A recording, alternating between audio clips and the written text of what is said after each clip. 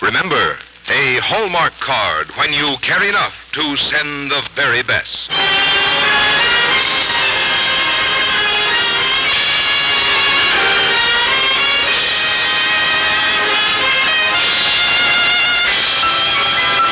Tonight from Hollywood, the makers of Hallmark greeting cards bring you Dorothy McGuire in Elizabeth Arnim's Christopher and Columbus on the Hallmark Playhouse.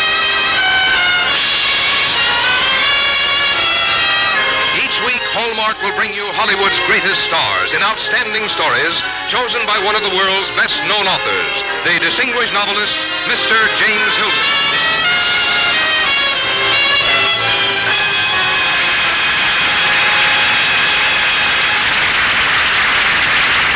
Good evening, ladies and gentlemen. This is James Hilton. Tonight on our Hallmark Playhouse, we present our dramatization of a very delightful story by that fine English writer, Miss Elizabeth Arnim, with the provocative title Christopher and Columbus.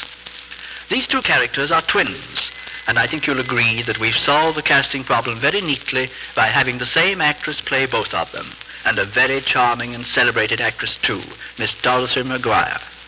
Christopher and Columbus, written a good many years ago, tells of two innocent orphan victims of a European war and of their hope and dream of finding a future in America. An old story, but you might also say a story still up to date. And now a word about Hallmark cards from Frank Goss before Miss McGuire begins her exacting roles as the twins in Christopher and Columbus. At Christmas, as on every memorable occasion, you'll take special pride in sending Hallmark cards. Because just as for hundreds of years the word Hallmark has been the distinguishing symbol of quality, so today the Hallmark on the back of your greeting cards is your assurance of perfect taste. It's a symbol of quality all who receive your cards will quickly recognize and realize you cared enough to send the very best. Now, Hallmark Playhouse, presenting Elizabeth Arnim's Christopher and Columbus, starring Dorothy McGuire.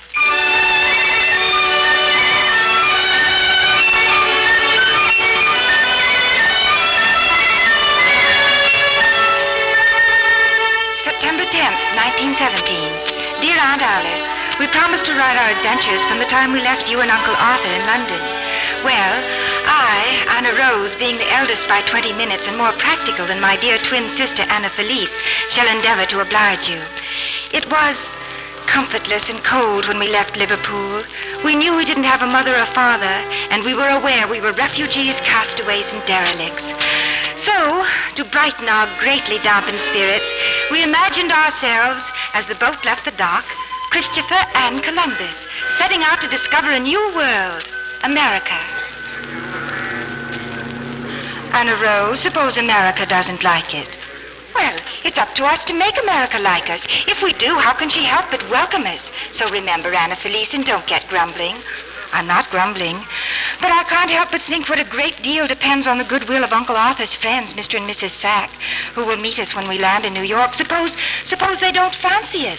That's not the proper spirit upon which to start an adventure. You must have faith. I have faith, Anna Rose. Only, I'm hungry.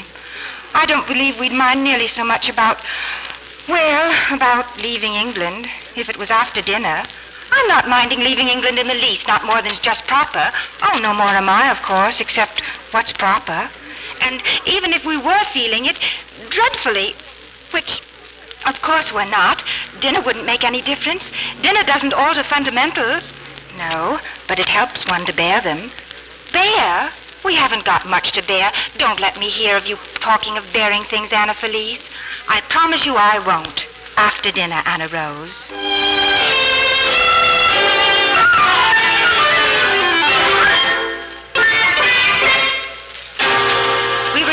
Full day when the warning came we were about to be attacked by a submarine.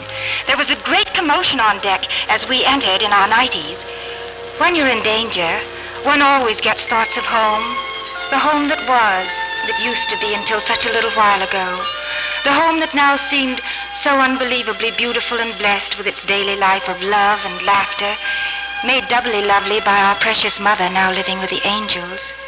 We sat huddled together on the floor of the deck when a man who looked as if he were going to be sorry for us yesterday came upon us. Uh, young ladies, if you'll tell me where your cabin is, I'll go fetch some warm things for you. Oh, thank you. We've quite enough on, considering the occasion. We're dressed for drowning. Oh, Anna Rose, I don't feel very well. Tell the boat to stop rocking. Oh, you'll be all right, young lady. Here's a pillow. Oh, I don't see much comfort, comfort just being comfortable a minute or two before drowning. Oh, no, come on. Put this blanket over you. No reason for you to catch cold. Come on. Well, very well. But I hope you don't think we need anybody. Oh, sure. Now cover your shoulders. I thought at Liverpool you were being sorry for us, Sorry? which was a great waste of your time. Well, I should think so. I wasn't feeling sorry. I was envying your youth.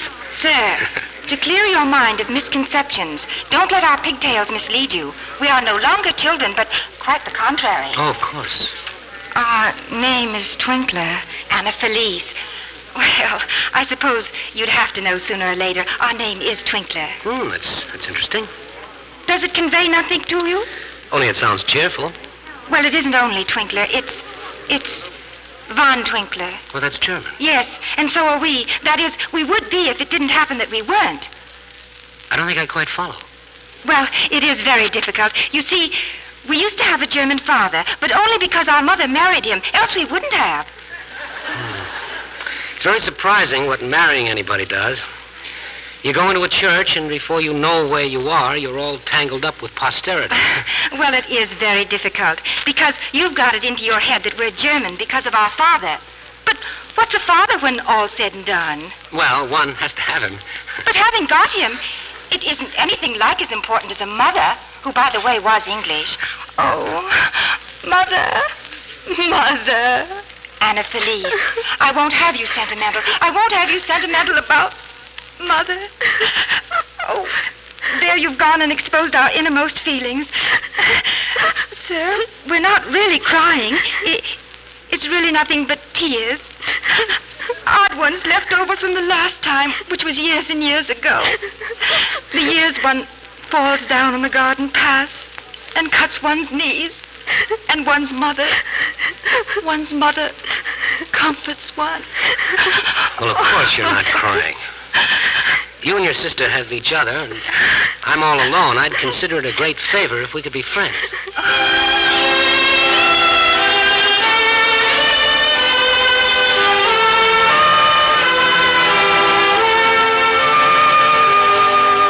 There was about Mr. Twist, the American gentleman who had come to our rescue, an air of perfect gentility. He was really quite handsome until one saw his face, which was very plain. Perhaps God had gotten tired by the time he reached there. Indeed, he was our friend, for he took a lively and solicitous interest in our present plans, a profoundly sympathetic one in our past. And as for our future, as we docked in New York, Anna Rose, Anna Felice, Mr. or Mrs. Sack never showed up to meet you. The only ones left at the pier are we three. but they wrote and told Uncle Arthur they would be here. We're to make our home with them. You have no other place to go, have you? Oh, oh, yes. Remember Anna Rose? Uncle Arthur referred us to another friend of his, a Mr. DeLog, who lives in a city called, uh, California. But we needn't worry about him. Mr. and Mrs. Sack will take us to their home. Well, then why aren't they here? I'm worried about you both. You go together. You're, uh, you're in one lump in my mind. And on it, too. Anna Felice and I didn't come to America to be on anybody's mind. It's our fixed determination, now that we're starting a new life, to get off any mind we find ourselves on instantly. I couldn't possibly permit you to go off alone without being sure you have a home. Oh, now, Mr. Twist. Well, how will you get by? You don't know anybody. Well, we're prepared to be friends with everybody, but only as co-equals and of a reasonable soul and human flesh subsisting. I don't know exactly what that means, but it seems to give you a lot of satisfaction. Will you two Annas tell me what you propose to do next? To track the Sacks to their lair, Mr. Twist. Will you call a taxi for us, please? Call a taxi. Where do the Sacks live? In a state called Boston, I believe.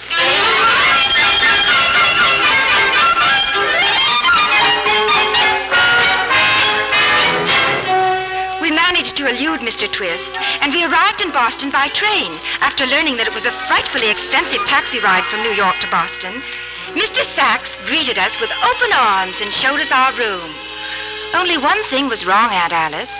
Mrs. Sachs had gone away for a six-month vacation, and you'll remember you told us that we were never to stay with people whose wives were somewhere else. So, that afternoon, we got back onto the train and went to Mr. Twist's house. He, at least, I was sure, had a mother. Yes? We want Mr. Twist. You from the village? No, from the railroad station. Mr. Twist, please. He's having supper. Oh, fortunate creature. I hope he isn't eating at all. Anna Felice, will you announce us, please? The Mrs. Twinkler. Can't disturb him at supper. Oh, I assure you he'll like us. We'll come in, please. Bear in mind, we're totally unaccustomed to the doorstep. Well, Uh, what's all the commotion? Mr. Twist, we've come. We got Huh? into difficulties. Anna Felice, I'll do the explaining. Ah. Mrs. Sachs wasn't there, only Mr. Sachs. Uh, Miss- Anna Felice, I said I'd do the explaining, and so here we are. Edward, who's there? Uh, look, Anna's beat it. It's my mother. I'll meet you outside later. Edward, who's there? Uh, no one, Mother. That isn't so, Mr. Twist. We're here. Oh, now you've done it. well, just who are these young ladies? We're the Twinklers. Now, you see, Mother, it's like this. Uh, you see, Mother, these two girls, well, to start with, they're twins. That's rather obvious. Who are they? Where did you meet them? Well, you see, Mother, I came across them, uh, across these two girls. They're both called Anna, by the way, which seems confusing, but it really isn't. I came across them on the boat. On the boat.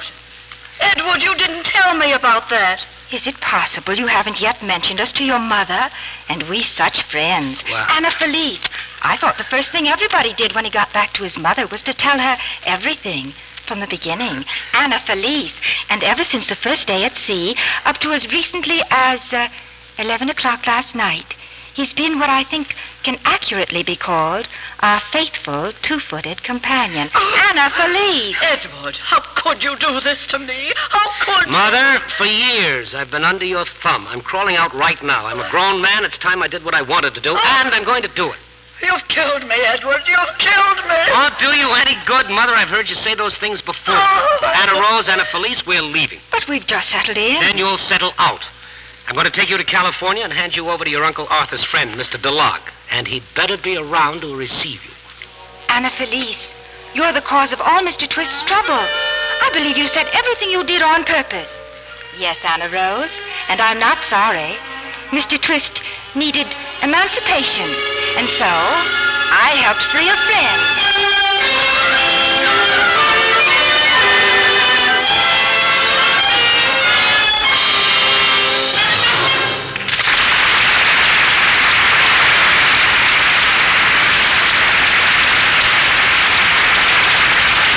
In just a moment, we'll return to the second act of Christopher and Columbus, starring Dorothy McGuire. Ever think of the fun you can have in selecting a different Christmas card for each person on your list? The fun of knowing they will know you selected it just for them? For example, this novel greeting for that special youngster you know. A dazzling Christmas tree, its bright green branches hung with tinsel. For extra magic, you decorate the tree with ten silver dimes. Just put the dimes in gum circles on the branches and they look like silver bells. A card in the tree says, A magic money tree for you. And inside is this verse. Money doesn't grow on trees. That's almost always true. But here's a magic Christmas tree that's growing dimes for you. Just one example of the hundreds of unusual Hallmark Christmas cards you'll find in displays that include just the right card for everyone on your list. As you make your selection, look to make certain the Hallmark is on the back of each card. It's a symbol of quality all who receive your cards will quickly recognize and realize you cared enough to send the very best. And now here is the second act of Christopher and Columbus, starring Dorothy McGuire.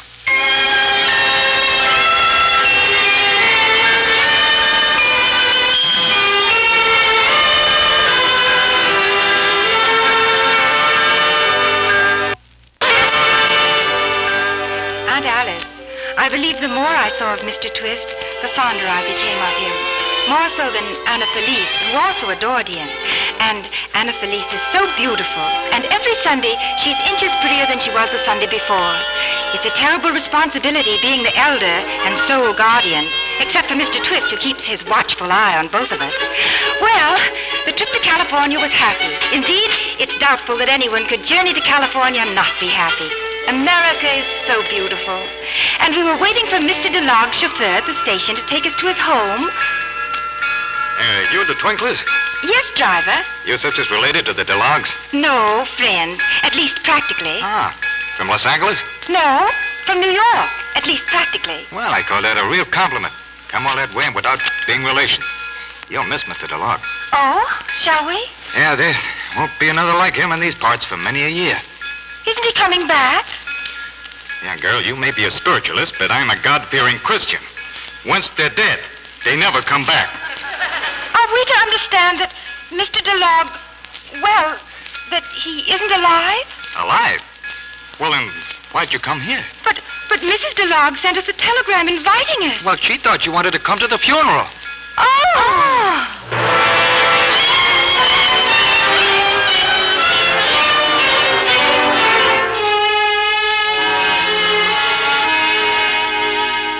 I know exactly the thing for you girls to do. You're going to school. That's very interesting. We'll be teachers. Oh, no, no, no. Anna Rose, you're not old enough. Not old enough. Did you hear him, Anna Felice? Not old enough. We're grown up. And I don't see how anyone can be more than grown up. Well, you're not old enough, I say. Nobody would take you. Why, you've got perambulator faces, the pair of you. Perambulator? You're going to register as students, Anna Rose. Students? Mr. Twist, we're two independent grown-ups with 200 pounds in the bank, and no one has any right to stop us from doing anything we want to. Imagine going to school like a couple of sucker thumbs. Are you aware, Mr. Twist, that we are marriageable? Oh, Anna I am. Felice. And don't you think it's bad enough for us to be aliens and undesirables without getting chronologically confused as well? School, indeed. Uh, well, uh, I'm blessed if I know what to do with you then. Oh, but we know. Well, that's a relief, Anna Rose. We shall open a tea room. Now, that's absurd. Who drinks tea in California? Californians, of course.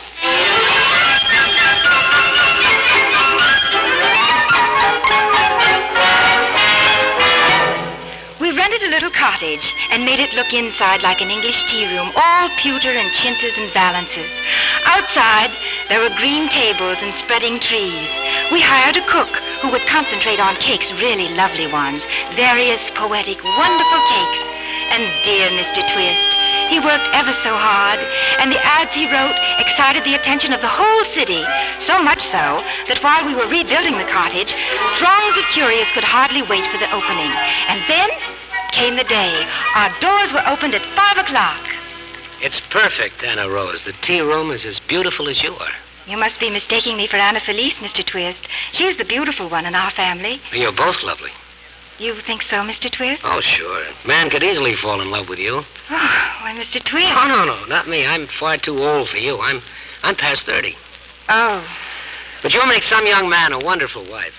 I'm, I'm not interested in a young man. Hmm. Your first customer has already arrived. He's an English naval officer. He's young and handsome. Oh, well, I'll, I'll go see to Oh, you. you don't have to. Anna Felice is doing a good job of it. They're outside on the veranda. Yes, she is doing a good job of it. I think I'd best go out and chaperone her. She's so pretty, you know. Seems to me the way the English Navy is looking at her, he agrees with you. Oh, more customers are arriving. Mm, you're right. Oh, Mr. Twist, dear Mr. Twist, I'm so happy. Everything does look just perfect, doesn't it? Everything. Anna Rose.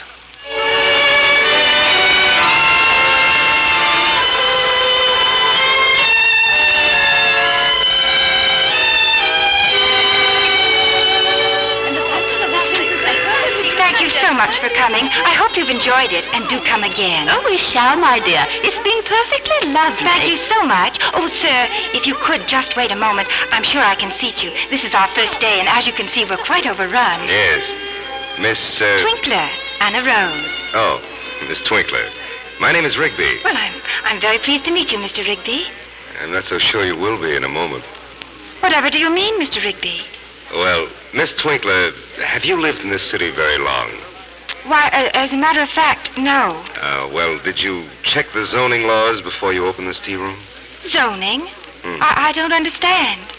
Well, you see, we have laws here which forbid the operation of commercial ventures in a residential district. And this cottage is in a residential district.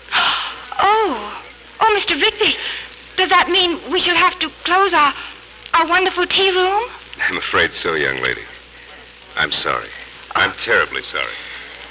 Well, well, it's all my fault, every bit of it. How could you be expected to know anything about zoning laws? I've been a fool. Oh, please don't blame yourself, Mr. Twist. This thing never would have happened if I'd used my head. Oh, no, it's all right. We'll manage. We're, we're two strong, healthy girls. We can certainly receive employment from someone. Besides, dear Mr. Twist, we've already upset your life so much. I'll find Anna Felice and, and tell her. Oh, dear. Oh, please, Anna Rose, don't go, darling. Darling.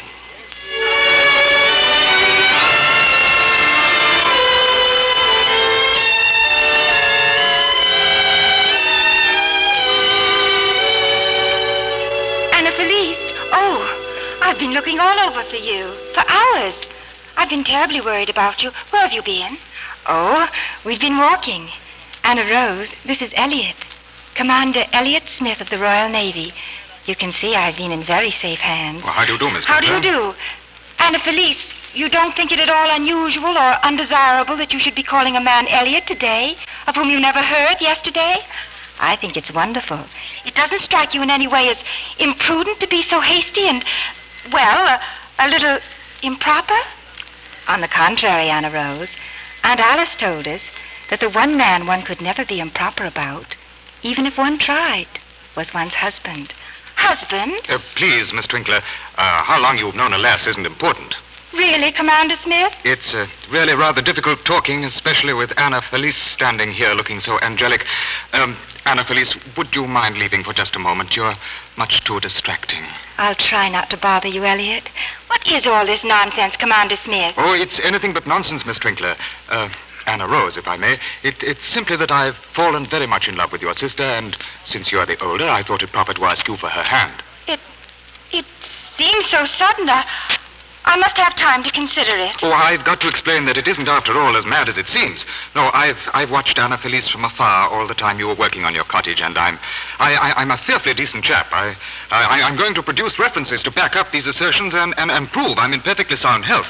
And oh, how? I, I ask you how, Anna Felice, my dear, am I to go on telling your sister what a splendid chap I am, with you standing there looking at me like a distracted angel? Now, will you please go? No, Elliot. I love you. Well, somebody's got to go. Yes, and I guess it's me. All the happiness to you both, Elliot, and my own dear Anna Felice.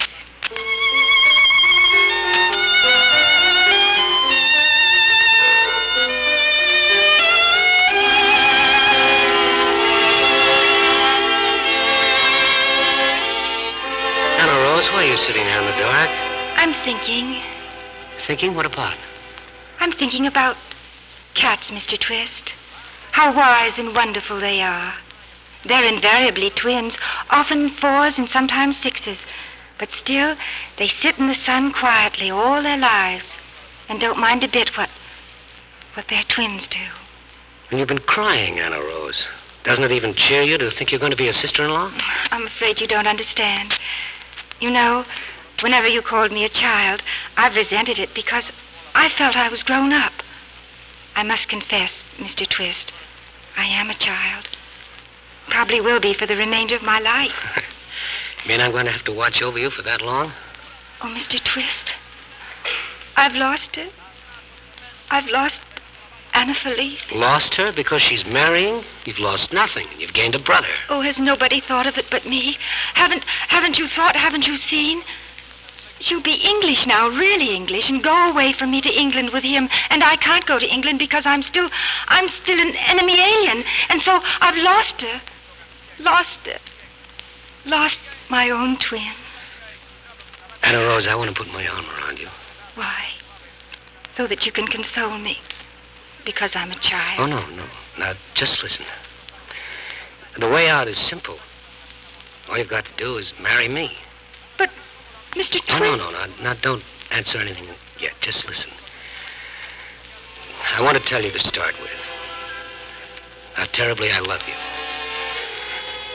That doesn't mean that you've got to love me. You needn't if you don't want to. Or if you can't. Or if you'd rather not. I'm far older than you, and I, I know what I am to look at. Now, don't, don't, don't, don't say anything. Just listen quiet. Oh, If you married me, you'd be an American right away, don't you see? Just as Anna Felice is going to be English. And we could visit England any time we wanted to. Anna Rose, little blessed, think of it. All of us together. And Don't you get supposing it matters about your not loving me. Because you see, I love you so much. And I adore you so terribly, there'll be more than enough love to go around. What do you say? But I do. You do what? But of course I do. What? Do what? I, I always did. What did you always did? Oh, love you.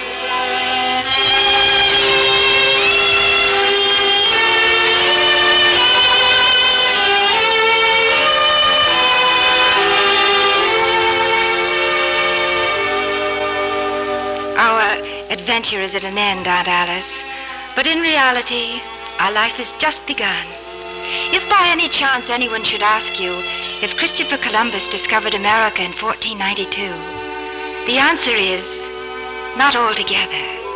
For you see, America was rediscovered by Christopher and Columbus in the year 1970.